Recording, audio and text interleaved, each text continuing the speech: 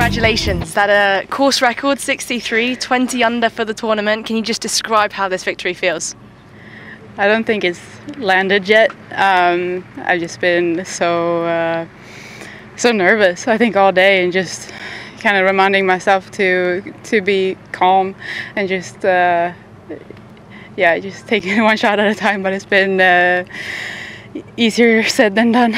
You started the day two shots back. You ended up having a dominant performance, and now you're here on top. There was no signs of nerves whatsoever. You talked about playing three holes at a time. How beneficial was that, and how important was it for you to stay focused in the moment? I think that was a big key uh, because it would just be so easy to just think, oh, I'm whatever under par, um, and then then you kind of crumble after that because you get too nervous. But now it's like, yeah, just three more holes, three more holes, and yeah.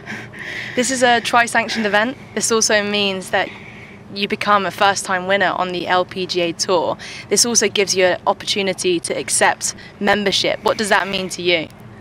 It means the world. Uh, that was all I came here for. Like I just wanted, um, just wanted that uh, winners category, and um, yeah, I was just. Uh, I don't know, so nervous, and I, I hate qualifying, so now it's, it's great that I don't have to do that again.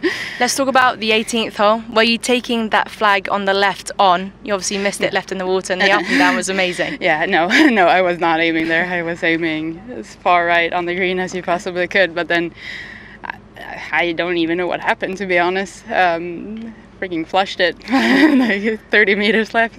That's a shame, but yeah, it was fine.